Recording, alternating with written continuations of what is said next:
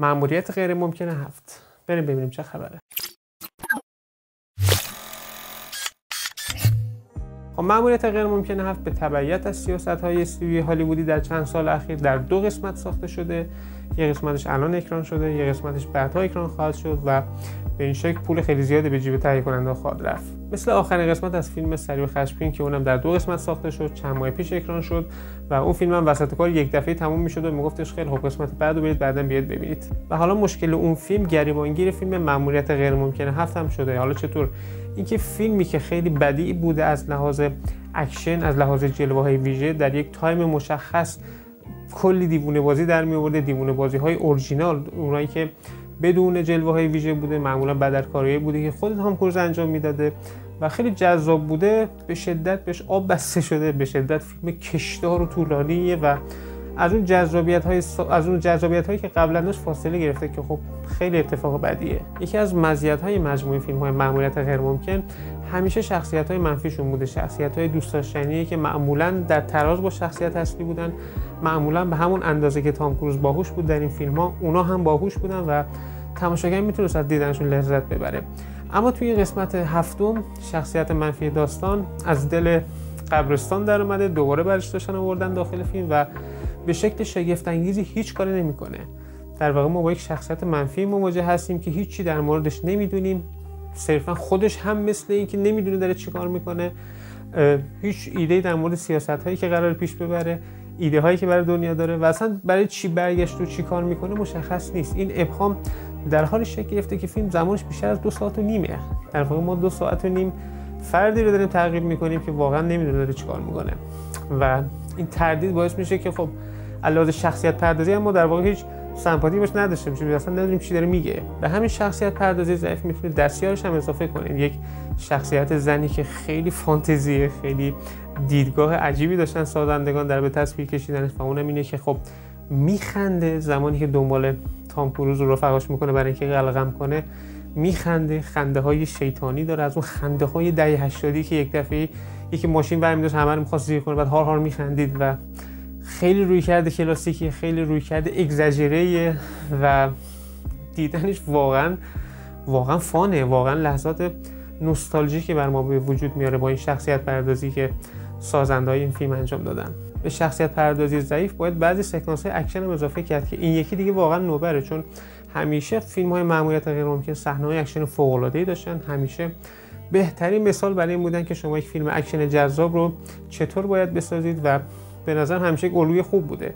اما توی این قسمت هفت علاوه بر اینکه خب توی دو ساعت و نیم اصلا اکشنی به اون صورت وجود نداره به جز نیم ساعت آخر یکی دو تا سکانس اکشن هست که اصلا اجراشون مشکل داره. اینکه شما توی ایتالیا روی پل یک دفعه شمشیر در بیاره مبارزه کنی اینم مثل همون دستیار گابریل خیلی کلاسیک خیلی دهه هشتادی طوره خیلی عجیبه خیلی دیگه.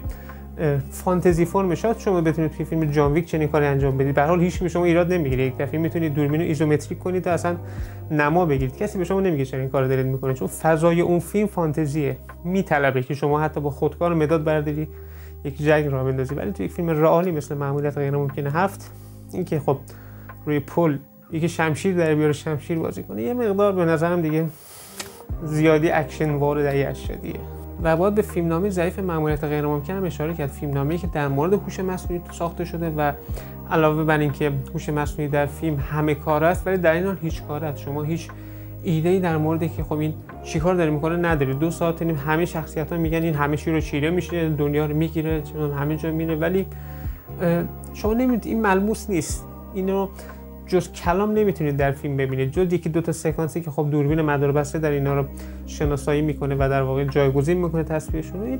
ملموس نیست این هوش مصنوعی تو این دو ساعت نیم.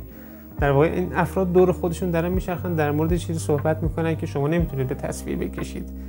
و این خیلی حس بدی به تماشاگر میده. اینکه یک قدرت برتر در موردش داره صحبت میشه قدرتی که واقعا فوق العاده به نظر می‌رسه. اما فیلم ناتوان از اینکه بخواد این قدرت رو به شما معرفی کنه. در نهایت باید به مدت زمان فیلم اشاره کنم که بیش از حد طولانیه. خب مشخصه که فیلم برای جبران هزینه‌های تولیدش نیازمند این بوده که فیلم رو در دو قسمت اکران کنه در دو سال متفاوت.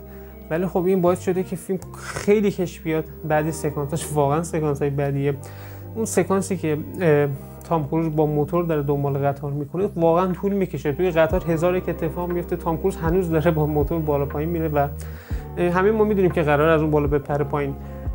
این صحنه ها جذاب بوده. توی قسمت های قبل ما چندین سکانس جذاب داشتیم. تام کروز معمولا شخصا اینا رو انجام میده. گاهی از برج آویزون می‌شده گاهی از هواپیمای در حال پرواز.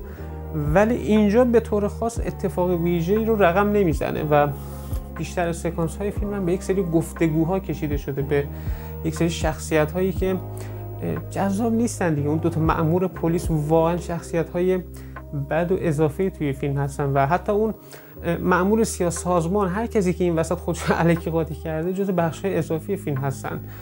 و به طور ساده باید بگم که در واقع فیلم خیلی طولانیه. فیلم بیشتر از اون چیزی که ظرفیتش هست طولانیه. فیلم اصلا بنیانو نداشته که بخواد دو ساعت و نیم باشه و از این جهتم که خب با یک فیلم دیگه قاطی شده احتمالا پنج ساعت بوده که تبدیلش کردم به دو ساعت و نیم و خیلی طولانیه و خیلی عجیبه که باید بگم که معمولیت غیر ممکنه. هفت واقعا خسته کننده است از وسط فیلم به بعد از میانه. فیلم خسته کننده میشه به ورطه تکرار میفته و این برای فیلمی که همیشه جز جذابترین اکشن های سالهای اخیر بوده یه مقدار بعد دیگه آزاردهنده است. در مورد نکات منفی فیلم صحبت کردیم و در مورد نکات مثبتش هم صحبت کنیم که کماکان برجسته ترینش تام کروزه. تام کروز کماکان ستاره بزرگیه تمام صحنه رو مال خودش می‌کنه و حضورش مقابل دوربین کافیه که ضعف های فیلم نامه رو بپوشونه. در مورد فیلم برداری فیلم هم با صحبت کنیم که کماکان جذابه در محیط های باز واقعا کارش خوب انجام میده. توی محیط های بسته هم بهترین جایگیری داره و در مجموع از لحاظ فیلم برداری به نظر فیلم خیلی عالیه. خیلی حیف شد. فکر می‌کردم که ماموریت غیر ممکن فیلم بهتری باشه ولی یک فیلم کاملا معمولی بوده. البته معمولی که میگم در مقایسه با ماموریت غیر ممکن قبلی فیلم معمولیه وگرنه این یکی کماکان در مقایسه با اکشن هایی که این روز از سرویس های استریم پخش میشه فیلم بهتری فیلم جذابتری و ارزش تماشای بالاتری داره. ولی در مقایسه با ماموریت غیر ممکن قبلی واقعا فیلم معمولی تریه واقعا. خیلی ممنون که این ویدیو رو تماشا کردید لطفا اگه این ویدیو دوست داشتید دکمه لایک رو بزنید. دکمه subscribe هم حتما بزنید و امیدوارم فیلم های اکشن روز به روز کیفیتشون پایینتر نیاد. دم شما گرم و خداحافظ شما.